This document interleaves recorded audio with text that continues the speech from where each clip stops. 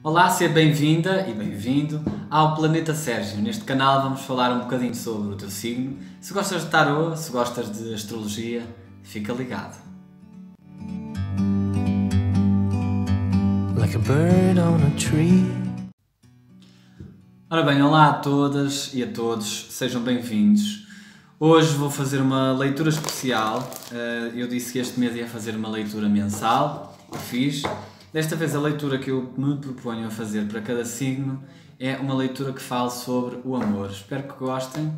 Bem-vindos. Uh, signo de Ares, signo de Carneiro. Deixem já aqui o vosso like, o vosso, uh, o vosso comentário. Até ao final do mês vou sortear uma leitura a todas as pessoas que comentarem qualquer um dos vídeos do meu canal uh, que foram publicados em maio. Portanto, já sabem, é só deixar um comentário Vamos ver como é que vocês andam, como é que anda a vossa energia. Signo de Carneiro. Um, temos estado aqui a passar algumas uh, fases menos. Ups, já me saltaram aqui cartas. Menos boas. Vamos ver o que é que o tarot diz para vocês. Ok? Então, bora lá. Signo de Carneiro no amor. Ora bem, saiu uma carta da temperança. Tem sido uma altura uh, em que eu, eu, estou a sentir uh, com algum temperamento mais uh, forte, digamos assim. A carta da temperança fala sobre equilibrar das energias.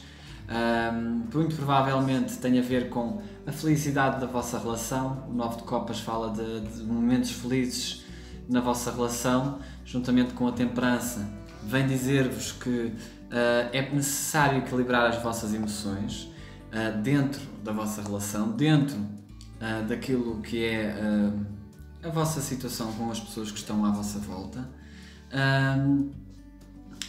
depois temos aqui o dois de espadas. O dois de espadas fala de, toma de tomadas de decisões sem emoções à mistura. Vou aqui continuar tirar mais cartas, vamos lá ver o que é que estas cartas dizem.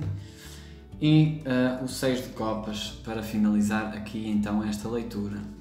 Ora bem, no amor, uh, aquilo que eu vejo aqui, saiu aqui na base da vossa leitura outra vez, o 2 de paus.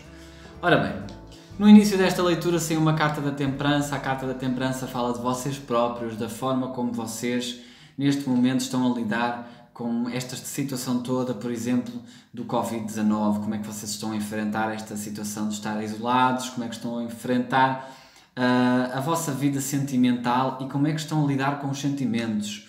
O temperamento é algo que é muito importante nas nossas relações, a forma como reagimos e lidamos com os outros também é muito importante. E o Nove de Copas fala claramente de, de uma felicidade qualquer que sai dentro de nós de uma forma simples uh, e, uh, mas ao mesmo tempo nos deixa de certa forma incompletos. O dois de espadas vem perguntar uh, o que é que falta na nossa relação para que ela fique completamente preenchida, digamos assim. O que é que nos está a faltar? É preciso de repente parar de olhar para as batalhas, lutar menos uh, e andar menos uh, a disputar coisas que não fazem tanto sentido.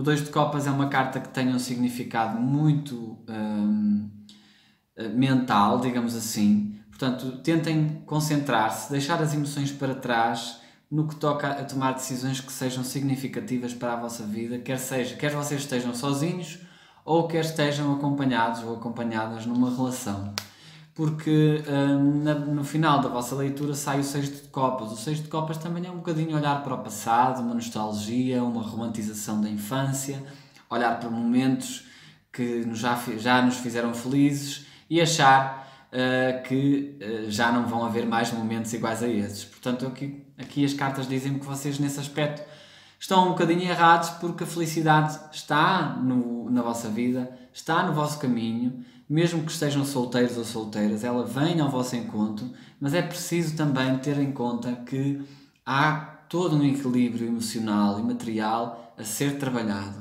Equilibrar as emoções, equilibrar o pensamento, equilibrar a razão e perceber de que forma é que a nossa mente hum, nos vai guiar neste caminho da felicidade. Portanto, o dois de espadas fala-nos desta dualidade, assim como na base da vossa leitura vocês têm aqui o dois de paus. O dois de paus é realmente a dualidade, é, é a paixão, é a vontade de seguir em frente num novo caminho e perceber que hum, é preciso dar asa a, este, a esta força criativa, a esta paixão dentro de nós de uma forma mais hum, calma, digamos assim. Eu sei que esta é uma palavra muito que os carneiros não gostam de vir, de vir não, de ouvir, uh, mas é preciso falarmos sempre de que não nos podemos esquecer de nós em prol do outro, não é? Porque esta leitura vai chegar a muita gente e há pessoas que vão se identificar e outras não, mas é preciso que vocês percebam que às vezes estar sozinho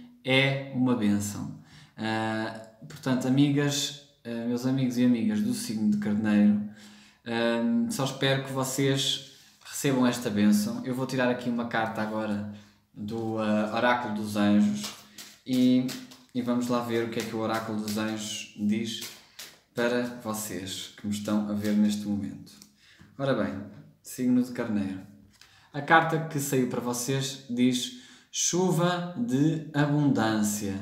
E a chuva de abundância diz o seguinte: para curares a tua situação financeira, primeiro dá-nos as tuas preocupações. Vamos guiar-te para te mostrar como podes criar e aceitar a abundância. Quando trabalharmos juntos, a tua situação financeira vai curar-se tanto depressa quanto permitires. Portanto, se na vossa relação há realmente problemas financeiros, há problemas que, que vêm das finanças, como por exemplo a falta de independência, hum, vocês neste momento estão a passar por uma fase da vossa vida que vos está a permitir questionar tudo e renovar e perceber o que é que é importante no vosso, na vossa vida. Eu preciso realmente de ter o carro XPTO, eu preciso ter a casa Y, eu preciso ter o telemóvel uh, A. Por exemplo, estou a falar de coisas que são materiais, mas este período de reflexão vem-nos perguntar muito o que é que nós realmente precisamos ter para sermos felizes numa relação. A carta da temperança é mesmo isto: o equilíbrio.